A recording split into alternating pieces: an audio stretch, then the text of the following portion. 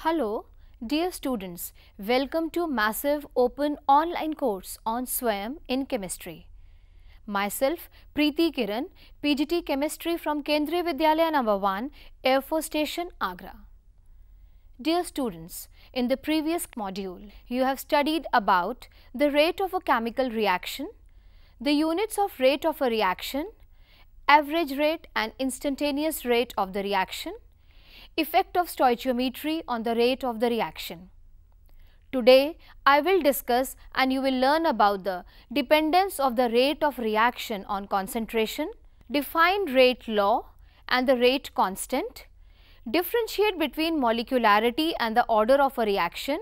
First of all, let us discuss factors affecting the rate of the reaction. The rate of a reaction is influenced by number of factors as follows experimental conditions such as concentration of the reactants, pressure in the case of gases, temperature of the reactants or the products, nature of the reacting substances, presence of the catalyst and now let us discuss each factor one by one. First of all, effect of concentration on the rate of the reaction.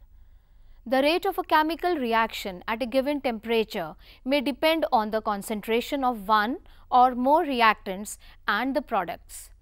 It is found that the concentration of the reactants decrease while the concentration of the products increase with the passage of time.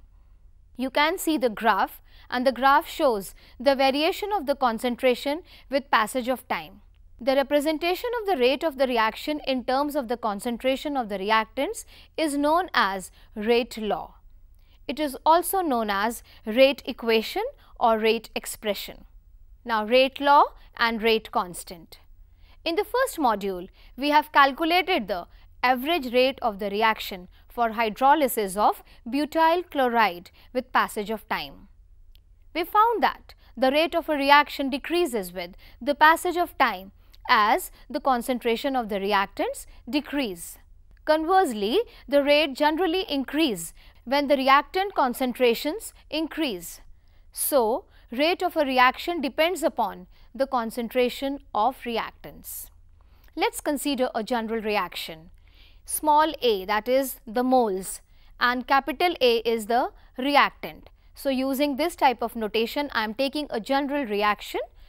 A moles of A plus B moles of B gives C moles of C plus D moles of D where small a, b, c and d are the stoichiometric coefficients of the reactants and the products. The rate expression for this reaction is rate is directly proportional to molar concentration of A raised to power x and molar concentration of B raised to power y. This is equation number 1 where exponents x and y may or may not be equal to the stoichiometric coefficients small a and b of the reactants. Above equation can also be written as rate is equals to k molar concentration of A raised to power x into molar concentration of B raised to power y. Now, I have introduced the proportionality constant k minus dr by dt is equals to k molar concentration of A raised to power x into molar concentration of B raised to power y. This form of equation is known as differential rate equation, where k is a proportionality constant called rate constant. The equation like number 1 which relates the rate of a reaction to the concentration of the reactants is called rate law or rate expression. Thus, rate law is the expression in which reaction rate is given in terms of the molar concentration of the reactants with each term raised to some power which may or may not be the same as the stoichiometric coefficient of the reacting species in a balanced chemical equation.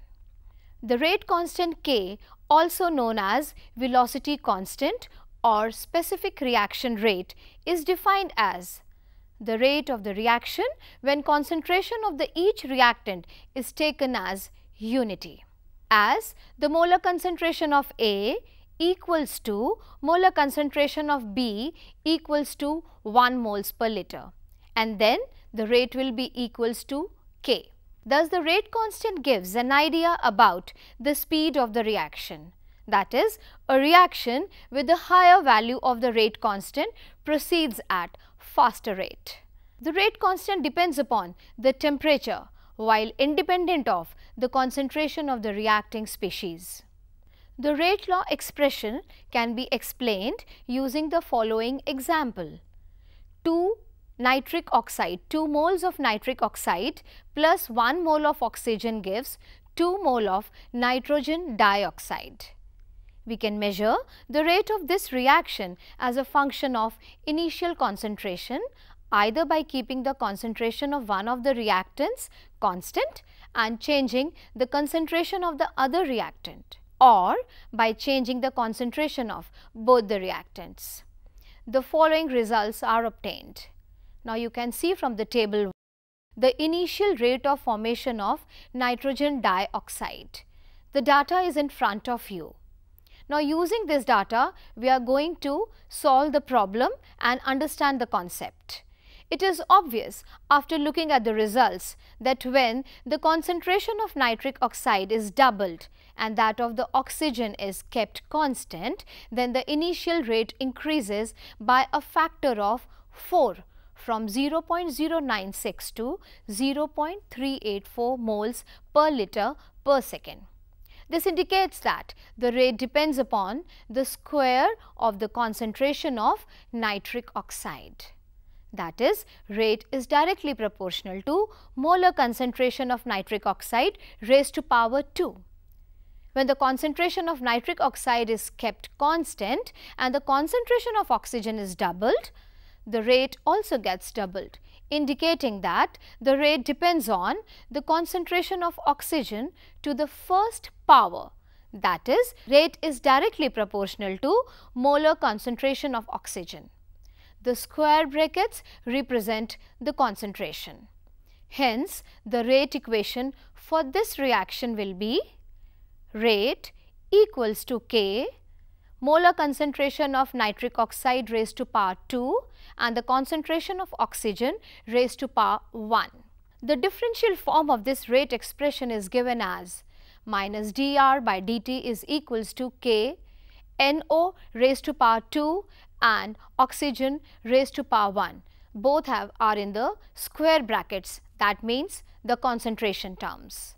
Now, we observe that for this reaction in the rate equation derived from the experimental data, the exponents of the concentration terms are the same as their stoichiometric coefficients in the balanced chemical equation. Now, the example number 1 you can see CHCl3 it is chloroform. When it reacts with chlorine it gives carbon tetrachloride that is CCl4 plus HCl. The experimental rate expression is rate is equals to K molar concentration of CHCl3 and molar concentration of Cl2 raised to power half. Another example CH3COOC2H5 plus water.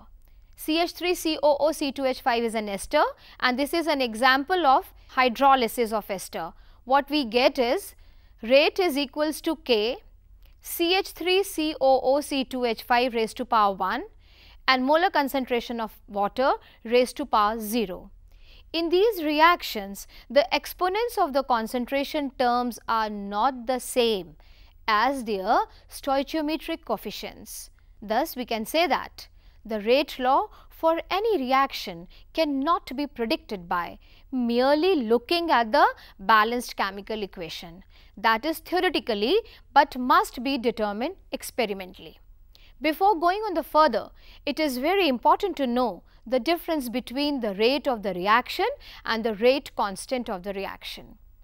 As discussed above, the rate of the reaction is expressed as the speed of the reaction at which reactants are converted into products, while the rate constant is the proportionality constant in the rate law expression.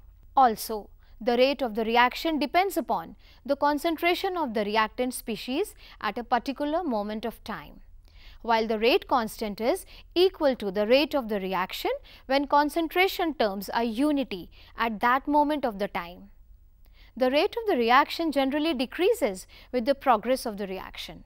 On the other hand, the rate constant is a constant value for a reaction at given conditions. Now, let us discuss another concept that is the order of the reaction. In the rate equation, rate is equals to K molar concentration of A raised to power x and the concentration of B raised to power y, where x and y indicate how sensitive the rate is to the change in the concentration of A and B.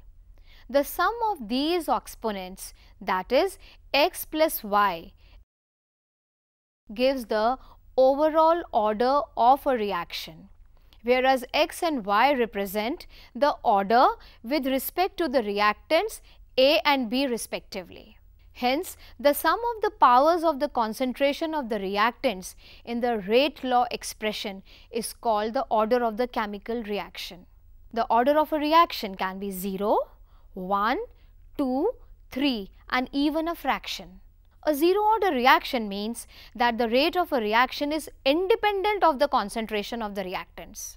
A balanced chemical equation never gives us a true picture of how a reaction takes place since rarely a reaction gets completed in one step. The reactions taking place in one step are called elementary reactions. When a sequence of elementary reactions called mechanism gives us the products, the reactions are called complex reactions. These may be consecutive reactions. Example, oxidation of ethane to carbon dioxide and water. It passes through a series of intermediate steps in which alcohol, aldehyde and acid are formed. The reverse reactions and the side reactions. Example, the nitration of phenol yields orthonitrophenol and paranitrophenol. Now, let us discuss and find the units of the rate constant. For a general reaction, A moles of A plus B moles of B gives C moles of C plus D moles of D. For this, the rate law will be rate is equals to K, the concentration of A raised to power x and the concentration of B raised to power y, where x plus y is equals to n is the order of the reaction. Now, K is equals to rate divided by concentration of A raised to power x, concentration of B raised to power y. Concentration upon time into 1 upon concentration raised to power n. It will be equals to concentration raised to power 1 minus n into time raised to power minus 1. and they are taking SI units of the concentration moles per liter and time in seconds. The unit of K for different reaction orders are listed in table 2. Now, you can see for various orders the unit of the rate constant we can find out by putting it in the formula. Let me take the first example. Calculate the overall order of a reaction which has the rate expression a part rate is equals to K concentration of A raised to power half concentration of B raised to power 3 by 2 and the second part is the rate is equals to K concentration of A raised to power 3 by 2 and the concentration of B is raised to power minus 1. Now, let me solve part A first. First of all, let us write the rate expression. Rate is equals to K concentration of A raised to power x and concentration of B raised to power y. The order of the reaction is x plus y. So, here x is half and y is 3 by 2. So, let us add them 1 by 2 plus 3 by 2 it gives 2 that is the reaction is a second order reaction. Now, let me solve the part 2 here x is 3 by 2 whereas y is equals to minus 1. So, the order is equals to 3 by 2 plus minus 1. Answer is half. That is the reaction is a half order reaction. Another example in front of you. Identify the reaction order from each of the following rate constant. Now, you have been given the value of the rate constants and by using the units, you have to find out the order of the reaction. The first part the given value of K is K is equals to 2.3 into 10 raised to power minus 5 liters per mole per second. And the second part is given K is equals to 3 into 10 raised to power minus 4 per second. Now, just by checking the units, the first answer is the unit of the second order rate constant is per mole liter per second.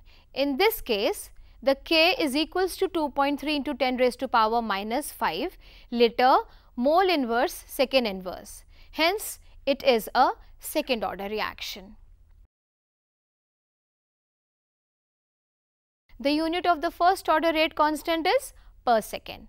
So, by comparing this, second part has been given 3 into 10 raised to power minus 4 per second. So, unit matches the of the first order reaction, hence it represents a first order reaction.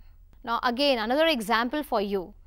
Find out the order of a reaction and the units of the rate constant in the following reactions. Also state the order with respect to each of the reactants. The equation is CH3CHO that is ethanal, it gives methane CH4 plus CO that is carbon monoxide. Now, the rate law is rate is equals to K, the molar concentration of CH3CHO raised to power 3 by 2. Another equation, carbon monoxide plus Cl2 gives COCl2.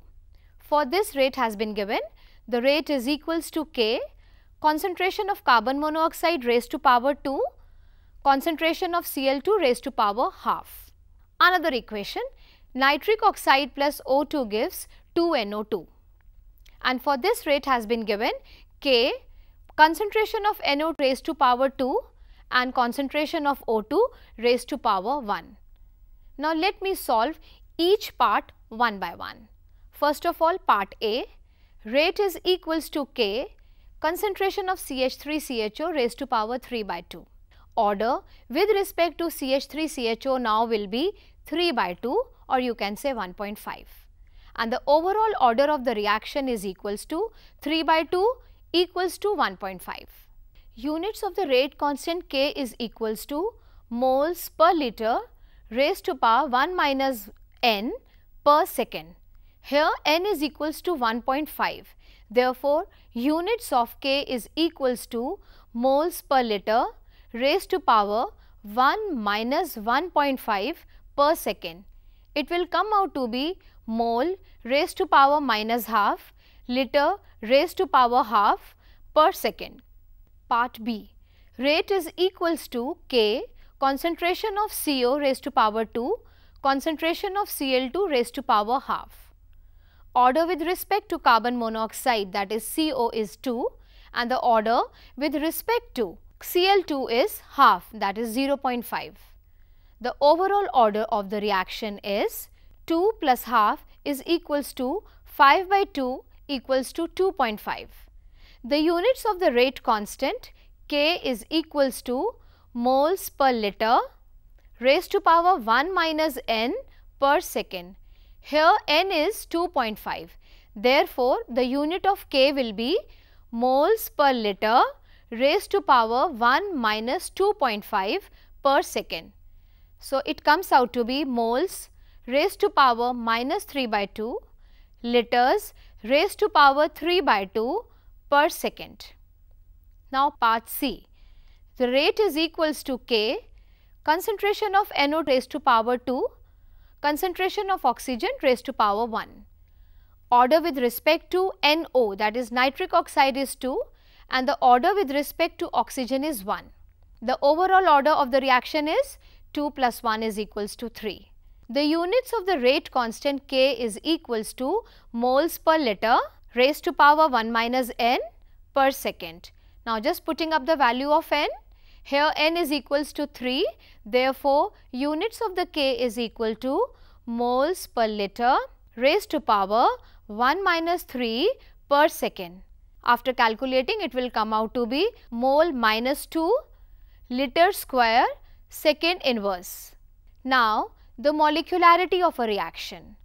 Another property of a reaction called molecularity helps in understanding its mechanism.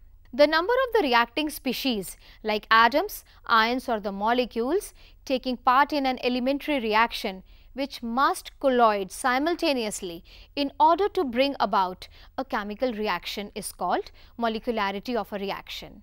The reaction can be unimolecular when one reacting species is involved.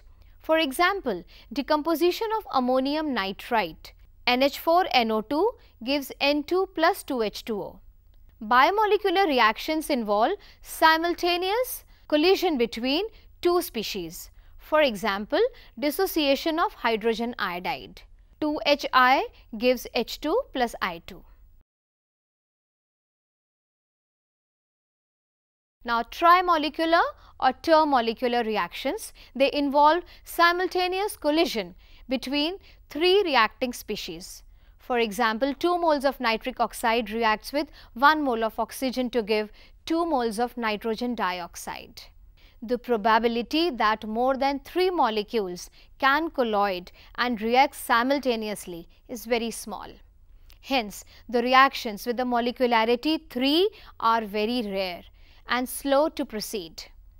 It is therefore evident that the complex reactions involving more than 3 molecules in the stoichiometric equation must take place in more than one step. For example, KClO3 plus 6 moles of ferrous sulphate plus 3 moles of sulfuric acid gives 1 mole of potassium chloride plus 3 moles of ferric sulphate plus 3 moles of water. This reaction which apparently seems to be of the 10th order is actually a second order reaction. This shows that this reaction takes place in several steps. Which step controls the rate of the overall reaction? The question can be answered if we go through the mechanism of the reaction. For example, chances to win the relay race competition by a team depend upon the slowest person in the team. Similarly, the overall rate of the reaction is controlled by the slowest step in a reaction called the rate determining step. Consider the decomposition of hydrogen peroxide which is catalyzed by iodide ion in an alkaline medium. Now, the equation is in front of you. It is a decomposition reaction of hydrogen peroxide. It gives 2 H2O plus O2 in alkaline medium and iodide ion is a catalyst. The rate equation for this reaction is found to be minus D molar concentration of hydrogen peroxide divided by dt equals to K concentration of H2O2 and concentration of iodide ions. This reaction is first order with respect to both hydrogen peroxide and iodide ion. Evidences suggest that this reaction takes place in two steps. The first step H2O2 1 mole reacts with iodide ions to give H2O 1 mole H2O plus 1 mole of IO minus where IO minus is a hypoiodite ion. In step 2, hydrogen peroxide now reacts with IO negative hypoiodite ion to give 1 mole of H2O plus 1 mole of iodide ion plus oxygen both the steps are bimolecular elementary reactions.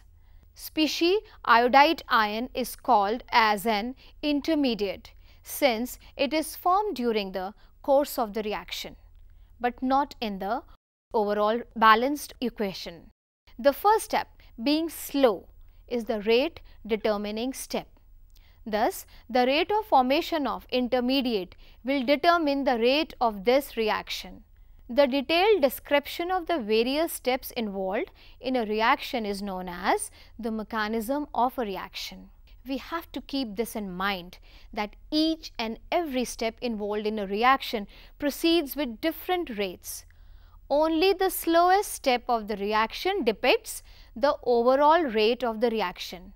In cases of the complex reactions, the molecularity of the overall reaction in general has no significance. Thus, from the discussion till now, we conclude the following. First, the order of the reaction is the sum of the powers of the concentration terms in the rate law expression, while molecularity is simply the number of the reacting species. Order of a reaction is an experimental quantity. It can be 0 and even a fraction. But molecularity is a theoretical concept and it cannot be 0 or a non-integer. Point 3 is order is applicable to elementary as well as complex reactions, whereas molecularity is applicable only for elementary reactions. For complex reactions, molecularity has no significance. For complex reaction, order is given by the slowest step. On the other hand, molecularity of the slowest step is same as the order of the overall reaction. Order of the reaction depends upon the experimental conditions like temperature and pressure, while molecularity of the reaction does not. It is a very frequently asked question that differentiate between order and molecularity. Let me discuss few examples. For a reaction A plus B giving products, the rate law is given by R is equals to K concentration of A raised to power half, concentration of B raised to power 2. Then what is the order of the reaction? Let us find out. The order of the reaction is the sum of the powers of the concentration terms in the rate law expression. Here we have rate is equals to k a raised to power half b raised to power 2. Therefore, just adding them half plus 2 gives 5 by 2 thus the answer is 2.5. Let me tell you children that for finding out the order of the reaction you need to write the rate law expression. Now, the next example in front of you the conversion of the molecule X to Y follows second order kinetics. If the concentration of X is increased to 3 times, how will it affect the rate of formation of Y? The reaction is X giving Y. It follows second order kinetics. Therefore, the rate equation for this reaction will be given as rate is equals to K concentration of X raised to power 2. Now, let the concentration of X that is molar concentration of X be small a moles per liter. Then the rate of reaction is rate is equals to K small a raised to power 2. So, it will become K a raised to power 2. Now, if the concentration of X is increased to 3 times, then the molar concentration of X is equals to 3 into A moles per liter. Therefore, the rate of the reaction will be rate the new rate will be equals to k 3a square. Now, it will become 9 k a raised to power 2. Hence, the rate of the reaction or the rate of formation of the y will increase by 9 times. What simply we have done? We have just put the values and how much time the rate of the reaction is increased. Now again I am taking an example in front of you for what type of reactions the rate constant shall have the same units as the rate of a reaction. It is for the zero order reaction. Now let me summarize what we have studied in this module. In the first module we have learnt about the rate of the reaction.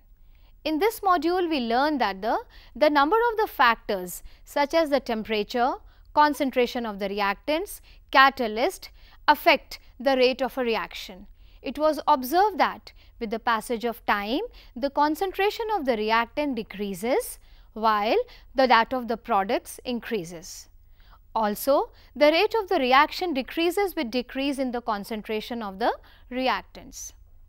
The mathematical representation of a rate of a reaction in terms of the concentration of the reactants is given by rate law. It has to be determined experimentally and cannot be predicted. The proportionality factor in the rate law is known as the rate constant. The rate constant and the order of reaction can be determined from the rate law or its integrated rate equation. Order of a reaction with respect to a reactant is the power of its concentration which appears in the rate law equation. The order of a reaction is the sum of all the such powers of the concentration of the terms for different reactants. The order of a reaction can be 0, 1, 2 or any non-integer. Molecularity is defined only for an elementary reaction. Its values are limited from 1 to 3. Whereas order can be 0, 1, 2 or 3 or even a fraction, molecularity cannot be 0 or a non-integer. Molecularity and order of an elementary reaction are same. Many reactions occur in a number of steps that make the overall mechanism of the reaction and the rate of the reaction is determined by the slowest step of the reaction. So, dear children, today we have studied all this about the order, molecularity, rate law and the rate constant. These are very important topics from the chemical kinetics from as the examination point of view. You get many numericals on this. I hope you have understood all the concepts very nicely. Thank you.